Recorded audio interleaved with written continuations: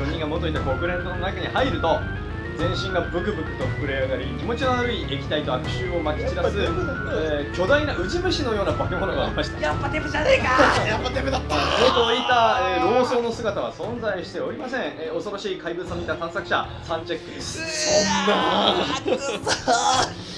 そんなデブを見た中でも俺は3チェックだ。68からから成功1 成功。はい成功しました。もう堪忍してほしい。成功したら1位失います。いや堪忍してくれ。30成功じゃない？1位失います。ー。1くらいなんともないわ。虫キモい。82 では 1D10 失ってください。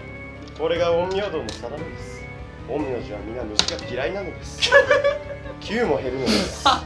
陰陽師は虫が嫌いなのです。31になる31です。じゃあ 1D10 を送ってください陰陽師。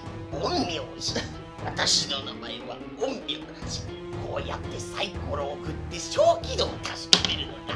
発狂した数字は2じゃ。パニック状態となり逃げ出すダッシュダッシュダッシュなのだ下り坂をダッシュで登って逃げるのだ知恵ださようならお二人さん私はもう君たちのことは知らないあとは勝手にしてくれということで、えー JB は逃走しました。さよなら。円柱商人は襲いかかってきます。セントラウンドです。まず大岡栗からどうしますか？やるしかやるしかないのか。峰打ち術術使います。お術。をはい。そして円柱商人は、えー、凍える息。を発します。なんだ、あれっぽいな。まあいい。ドゥルルルー。おゼロゼロゼロ。お100でしょ？100だわ。超大丈夫。ファンブルでした。引き絞りすぎて鶴が切れました。1D3 受けますか？ピーンパシャー！鶴が鶴が目に2だやばい！もうあと2しかない。怖い。えー、耐久値が2以下になったので意識不明になります。大丈夫か？あなた。応急手当てをしたいけど俺さっき宣言したから峰打ちするね。あえー。これ宣言変える場合成功率40%マイナスで何？他のをやることができます。宣言変えません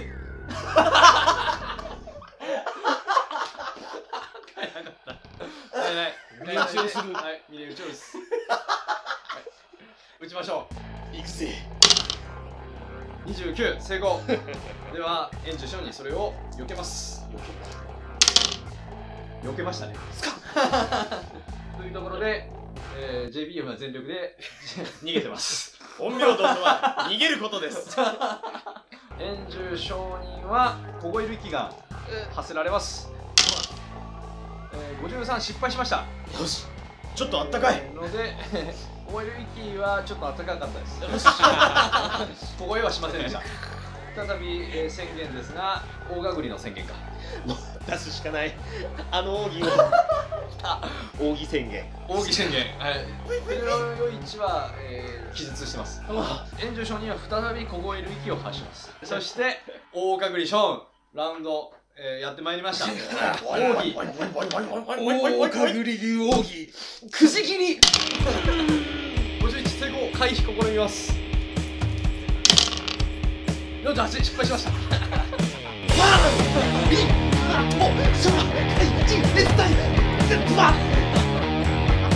当たりますので 1D10 を2回振ってください9水砲8 8 そして1 2 4 2 19そまい。では炎上商人は倒れました。だでおい。だだだだだだだなんだこのでかいでかい怪物はなぜ倒れているお前どこ行ってたんだ私は何があったのか全く思い出せないのであペル殿大丈夫ですかあ技術発動すっかり忘れてたすまんしがぎたようです51失敗このままで耐えていただけないでしょう応急手当。大きい手当。て79あセーフセーフ。セーフセーフセーフ。1 2 3えー、3回復します。ああよかった。キュイーン。5まで回復して大大丈夫？はい。これで安心してお茶が飲めますか？大丈夫かい？はい。ショーンさんありがとう。で炎上商人が倒れて、えこのデブめ。ー気持ち悪い匂いを発しながら液体となって溶けて消えてなくなりました。ちょっと臭い。はい、残された場所には国連中世教と書かれた古い怪しげな本と見たことものない字で書かれた黒い本2冊。1冊ずつですね。置いてありました、はい、という状況であなたたちはこの炎上商人倒すことに成功しました。骨が折れたぜ。なかなか手強い相手でした。あとりあえずこの本はあ持ち帰るか？ええ私がこの本を所持します。2つともえじゃあ黒い本に触れた途端あなたはパワー5で振ってください。えおや？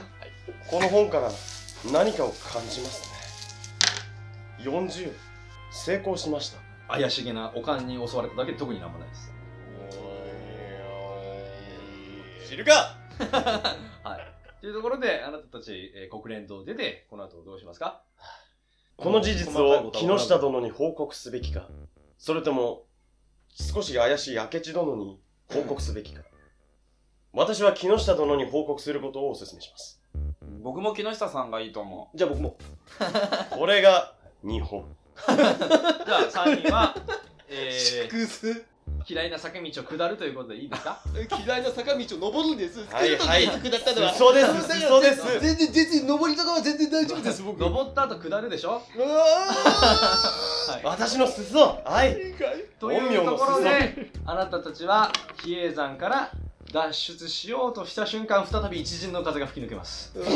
不気味でおぞましい風を感じたあなたたち、思わず振り返りますか？振り返りませんか？う振り返りましょう。振り返るの？JB は振り返る。私はテレの夜市は？じゃあ振り返らない。振り返らない。これが日本だ。じゃあ振り返らないって言った2人パワーかける5でなぜダイソー振ってくださいどうしてそういうことするの？パワーかける575振り返らないんだから。あ成功しちゃった。成功した。あではあなた振り返らない。おおえー、パワーかける 5? あ成功したんだよしでは自ら振り返った JB は陰陽師として見定める権利がある。再び砂漠へと送り込まれてしまいました。ここはどこでしょう、はい、最終的にですね、えー、国連堂があったあたりから暗黒の煙が立ち上がっております。山全体覆いかぶさるように広がる、えー、その黒い煙がですね、えー、気づくとあなたは大暗黒天の無謀目の当たりにしていました。3チェックです。あ。なたはあなたはあの時の仏。私はあなたに会いたかった。私の正気を見定めるいい訓練になるからだ。82大失 では 1D20 失います。1D20 もうこいつ死ぬじゃねえの。陰陽道としてこの試練受けて立つべきじゃ。藤井さん18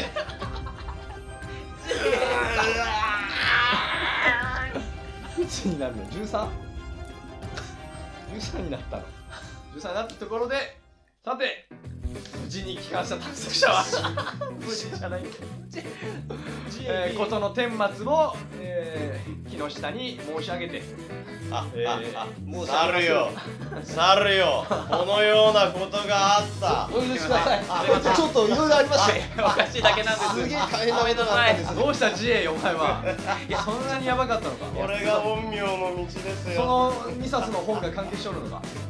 読め。すいません これあのえ炎上商人が持ってたんです。違うんです。